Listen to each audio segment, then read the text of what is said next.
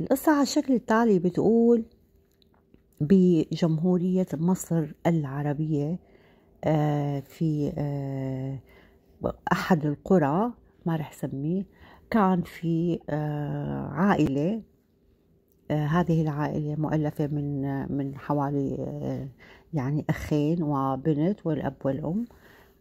كان الأب اسمه الحاج محمود. الحاج محمود هو من عائلة معروفة بهي المنطقة هو وأخواته و... وعيلته كلها بشكل عام هن تجار أغنياء. يعني معروفين إنه الناس تجار وأغنياء. آه كان عندهم يعني تقليد معين بإنه كل يوم لازم العيلة آه يجتمعوا على الغداء ويأكلوا. فكان يوميا يسكروا المحلات الحج يجي على البيت ويلحق به أولاده الاثنين وياكلوا. آه، لأنه المحلات كانت كتير كتير قريبة على على البيت. لهيك فإنه إنه يغتنموا أي فرصة ليجتمعوا مع بعض وهي أنا ثقافة بحبها كتير. لكن يوم من الأيام كان آه، في شاب اسمه مصطفى بيشتغل مع والده اللي هو الحج محمود. لما صار الغداء ما رجع مصطفى على البيت. فانتظروا انتظروا ما, ما إجا يعني تأخر عن موعد الغداء. آه، ياسين أخونا مصطفى بتعرفوا الأخوة دائما في عندهم آه، يعني هيك حنية بين بعض إنه لازم يكون بالبيت مع بعض وبالشغل مع بعض وهيك. فبيحصل مثل فراغ. آسف. فراح آه، اتصل فيه تفاجأ بإنه موبايله خارج التغطية. آه، راح لعند والده وقال له آه، يا حج آه، أخي مصطفى ما عم بيرد على تليفونه. الحج كمان حاول إنه يتصل فيه فلقى كمان إنه التليفون خارج التغطية. نطروا شوي واتصلوا كمان نفس الشيء مر ساعتين على هالموضوع ولسه بيتصلوا وما حدا عم بيرد. فالحج راح خبر إخواته وعيلته وأهله وبلشوا كل العالم يدقوا تليفونات آه، آه، مشان يعني بلكي يرد عليهم أو حدا يلتقي فيهم أو أو إلى آخره. فكان آه، تليفونه خارج التغطية وما قدروا يعرفوا ابدا ابدا أي معلومة عن مصطفى. في في بالقانون بيقول قبل مضي 24 ساعة ما فيك تروح تخبر عن عن حدا يعني مو مبين. لأنه بتعرفوا بيجي شكاوي كثير وهيك. وأنا بقول عن حالي يعني لو كان آه، مسموح كنت أنا يمكن باليوم بتصل بالشرطة. آه، حوالي خمسة آلاف مرة. تعرفوا قلب الأم يعني. ف آه، حاولوا هن يعملوا عبارة عن مجموعات ويدوروا على مصطفى وين ممكن يتواجد وين ممكن يروح وين ممكن ما ما في عنده ولا مكان هو عادة بيروح على شغله آه، بي بيرجع على الغداء بعدين بيرد بيرجع على الشغل أحيانا بيلتقي عنده آه، كم صديق آه، يعني بعد الظهر بيلتقي فيهم بس بهذا الوقت ما بيروح معهم. كان عنده صديق آه، مقرب جدا اسمه محمد يعني مثل توأم له كان موجود معهم عم بيحاول يدور عليه آه، بكل جهد مثل ما بيقولوا. وما وصلوا لنتيجة فبالنهاية اضطروا إنه يروحوا على قسم الشرطة وتبليغ المحققين بهذا الموضوع. بتعرفوا كتبوا البيانات كذا إلى آخره. أول شغلة بيعملوها بيحاولوا يشوفوا المقربين جدا من من مصطفى. صاروا يسألوا عملوا تحقيق مع الأب مع الابن الصغير مع الأخت مع الأم مع الكل. آه، طبعا واستدعوا أصدقاء آه، محمد. وصاروا يسألوهم آه، عفوا أصدقاء مصطفى. فصاروا يسألوهم. من بينهم كان شاب اسمه محمد. الأب رفض إنه يحققوا مع محمد قال لهم لا مستحيل هذا كان شريكه يعني بالعمل آه، قبل بوقت وانفصلوا لأنه آه، ابني يرجع يشتغل معي. فمستحيل يكون هو وما له علاقة. وبعتقد أنا برأيي إنه إنه آه، ما لازم نحن نبعد الشبهة عن أي حدا أو ندافع عن حدا لأنه داخل كل إنسان في في مثل ما بيقولوا لحظة شيطان بتمر عليه. لكن بالتحقيق اكتشفوا إنه هذا محمد هو من عائلة آه، تأخذ بالثأر.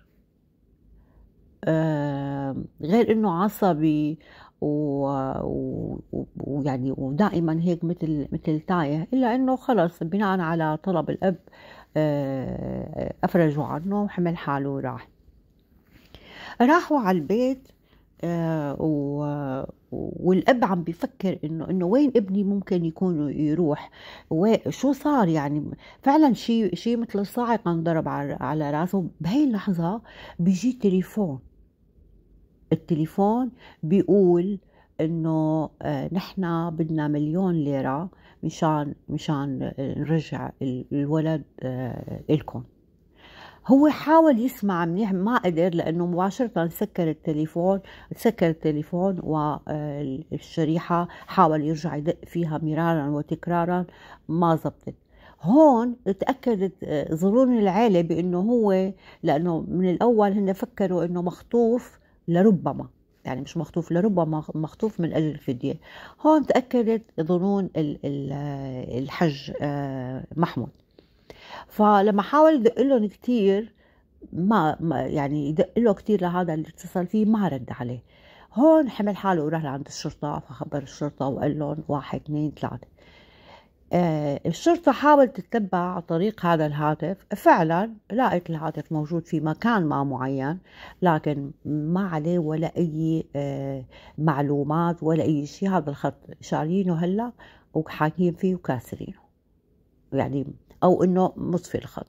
ما في له وجود اطلاقا اطلاقا هذا هذا الرقم ولا عرفوا ولا قدروا يعرفوا بعد يومين آه كمان آه يعني بصير هيك مثل آه بلبلة بالعيلة وأحاديث وأخذ وعطاء. ف محمد صار يقول له لأخوه الصغير يا أخي والله أخوك كان كان مشترك ب يعني بالآثار وما آثار وهيك وأنا ما حبيت أحكي لأنه أنا رفيقه وما لازم أحكي عن هذا الكلام. بس هي الحقيقة ليكون حدا خاصه من هدول الجماعات وهيك إلى آخره. أه بهي اللحظة الأخ الصغير قاعد يفكر إنه إنه طيب هو هلأ ضايع إنه ليش عم يحكي هيك؟ بتعرفوا بياخذوا الحماس الواحد إنه ليش عم يحكي عن أخي هيك وليش كذا إلى آخره. المهم بالنتيجة بيجي اتصال كمان للحاج. بيرد الحاج محمود على اتصال بترد عليه بنت. البنت آه بتقول آه مرحبا أنا آه فلانة الفلانية وهي تدعى ياسمين. أنا كنت على علاقة غير شرعية بابنك وسهر عندي للصبح وقال لي إنه بده يروح يشوف آه، جماعة لهم علاقة بالآثار وما آثار وهيك شغلات. آه، بحاول يطول الحديث معه فبتسكر الهاتف. بيرجع بيتصل فيها كمان ما بترد عليه بيتصل ما بترد عليه. طبعا المجرم دائما يخطئ. ما في جريمة كاملة يخطئ دائما. فهون الحج إنه إذا ما عم ترد علي وما قالوا لي ما تحكي مع الشرطة فراح خبر الشرطة. بيحمل حاله وبيروح على على مركز الشرطة وبيقول لهم إنه في وحدة اتصلت فيني واحد اثنين ثلاثة.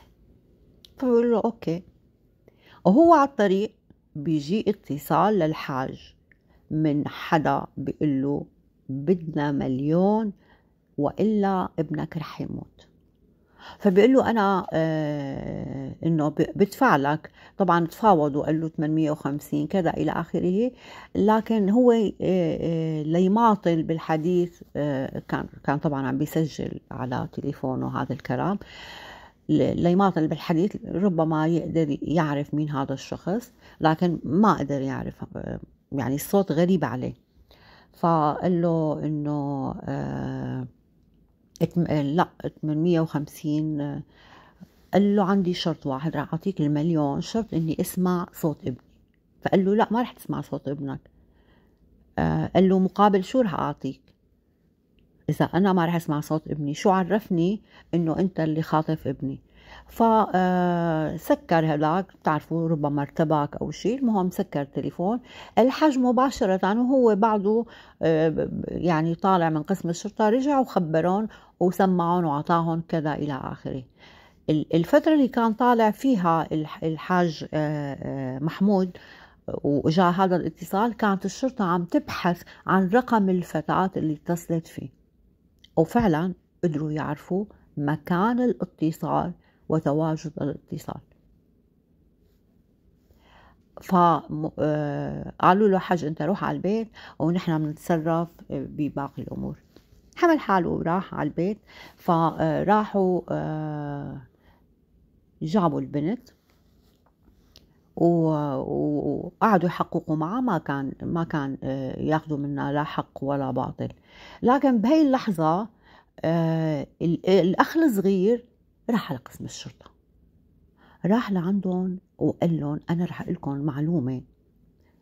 ربما تفيدكم. قال لهم خلال كل فترة ونحن آه، محمد عم عم عم عم ندور على مصطفى رفيقه لمصطفى يعني كان 24 ساعة عم بيقول لي إنه آه، أخوك آه، بيتاجر بالآثار و إلى آخره. هذا الكلام تطابق مع كلام البنت اللي اتصلت وقالت هو كان عندي وسهل وجه الصبح وقال رايح أنا أجتمع بحدا آه، شوفه آه، له علاقة بالآثار وكذا إلى آخره. هون يعني المحقق هو هو منه شخص عادي بيكون دارس سيكولوجيا بيكون دارس على يعني آه، كيف يقدر يعني يجمع كل تفاصيل القصة. فجابوا البنت وقعدوا يسألوها مثل ما حكيت هو هي رفضت تعترف لكن قالوا لا إنه هذا الرقم وانت اتصلتي واحد اثنين ثلاثة. هون حتى ما تنبلي بجريمة طبعا حكوا لها التفاصيل قالت على الشكل التالي محمد اللي هو رفيق مصطفى اشترى لي هذا الرقم وعطاني إياه وطلب مني اتصل هذا الهاتف فقط وبعدين أكسر الشريحة. قول إنه سهر عندي لوجه الصبح هو رايح يقابل مجموعة إلى علاقة بالآثار والمخدرات وإلى آخره هذا الكلام تطابق مع كلام الأخ الأصغر اللي قال محمد كان عم بيروج لكلام عن عن عن مصطفى وكلام غير حقيقي. فراحوا آه، جابوه لمحمد وحاولوا معه بكل الوسائل يضغطوا عليه من هون من هون من هون ما كان يعترف. ففاجئوه بكلام البنت إنه البنت قالت واحد اثنين ثلاثة وأنت قايل لأخوه هذا الكلام.